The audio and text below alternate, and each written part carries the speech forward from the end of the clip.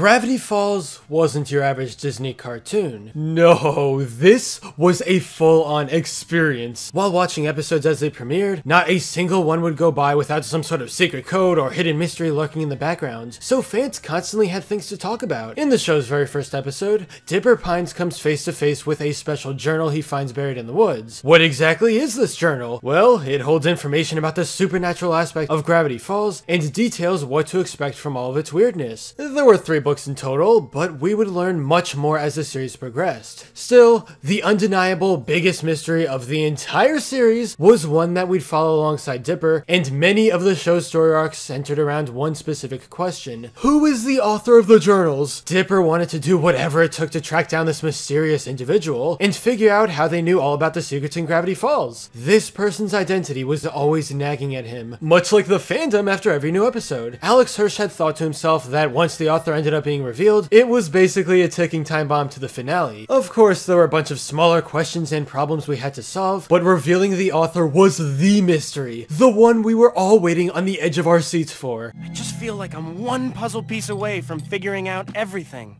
Don't worry, Dipper.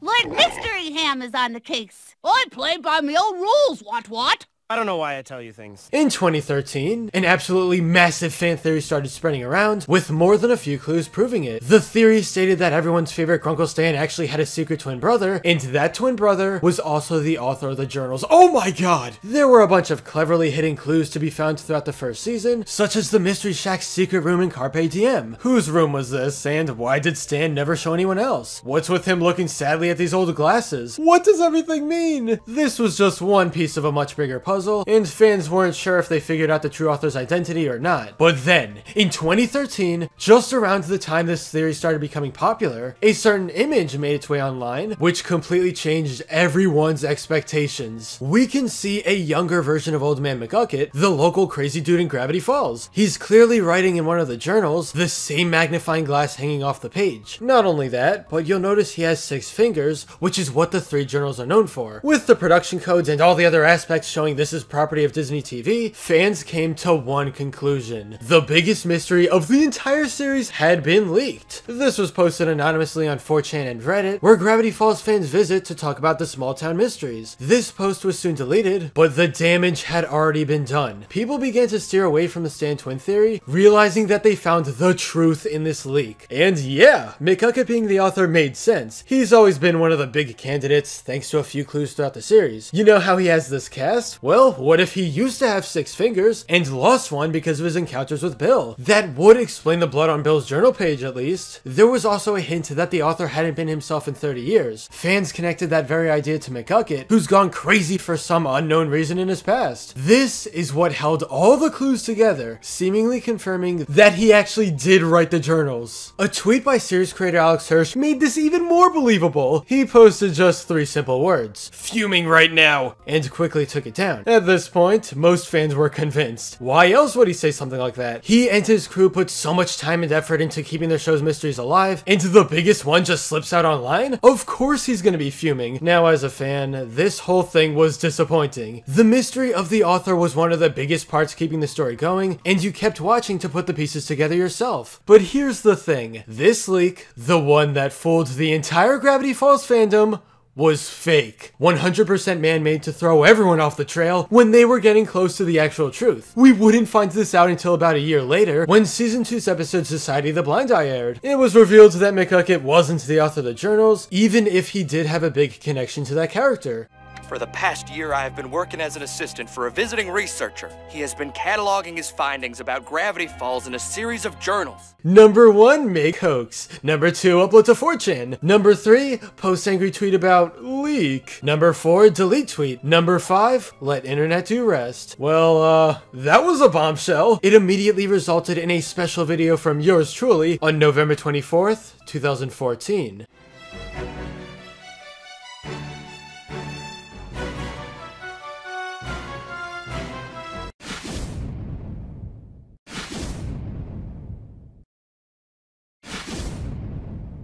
This is where the leak was shown to the world, and what many at the time didn't realize is that it was actually a clever hoax. Fast forward a few years later, and we would find out some more information about everything that went down. In 2016, Alex posted the original sketch plan for what author McGucket would look like. He did his best to make it as convincing as possible, so that the fandom would take the bait. Of course, even if this was his idea, he couldn't do everything alone. In the bonus features of the complete Gravity Falls box set, crew members talked about how they managed to trick everyone. Halfway into the season, maybe, somebody had cracked the theory that Stan had a twin brother.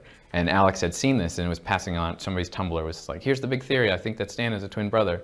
And Alex was like, oh, no, we're gonna nip this in the bud. It was like, all hands on deck. It was a big red alert and everybody came out of their offices.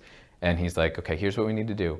Um, we need to figure out a counter narrative and we have to get it out there and we're gonna leak it. We're gonna pretend like it was somebody who's just walking through the halls. And so he had Joe Pitt draw up uh, a picture of Old Man McGucket with six fingers on his hands. Phil Rynda had designed McGucket with a cast on, and that was always kind of a question. It's like, where did he get the cast? What's that story? You know, how did he break his arm? Why is it always broken? So we, we just made a still of it, and then we put it on one of the editor's TVs in the editing bay. Put a fake time code stamp on it, and did kind of a hidden camera kind of photo of it. And then Alex created a fake Reddit account and threw it up on the internet. And he, I think he let it sit there for maybe an hour or two, or maybe a day, I don't know.